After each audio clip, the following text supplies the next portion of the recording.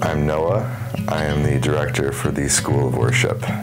So, School of Worship is a five month program for students who have done a DTS already, but who are interested in diving deeper into what worship is, how it transforms the Christian life, and how worship is a launch pad for missions. Part of the school is a three month lecture phase uh, where students will learn topics like the identity of a worshiper, you know, the life of David, what does the life of a worshiper of God look like.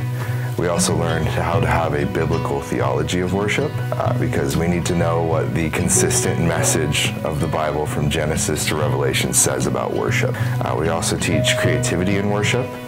Uh, we teach how students can express uh, gratitude and praise to God through songwriting.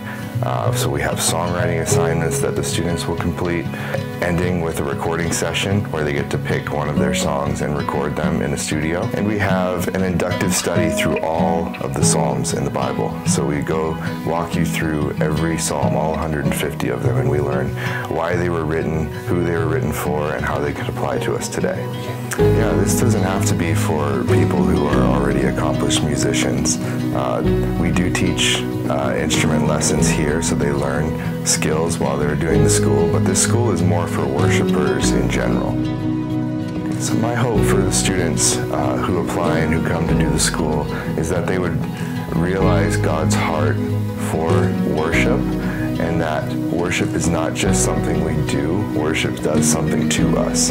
It transforms us into the image of Christ. Uh, it doesn't just end with playing a song in one of our local churches, but it actually propels us into going out and sharing the gospel because worship is not just inward focus. It reveals the heart of God to us.